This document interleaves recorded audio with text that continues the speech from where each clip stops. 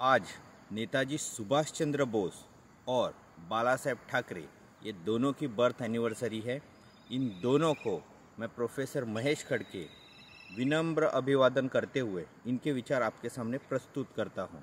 नेताजी सुभाष चंद्र बोस कहते हैं, संघर्ष ने मुझे जीना सिखाया, मुझमें आत्मविश्वास जागृत किया, जो मुझमें पहले नहीं था। तो दोस्तों, हमेशा हमें संघर्ष करना चाहिए और आगे बढ़ते रहना चाहिए।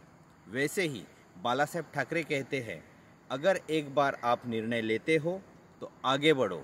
आपको इतिहास रचने से कोई नहीं रो सकता। दोनों ही थॉट्स बड़े ही पावरफुल है। दोस्तों, इस पे गौर फरमाइए, अपने जीवन में अप्लाई कीजिए और जीवन पे आगे बढ़ते रहिए। धन्यवाद।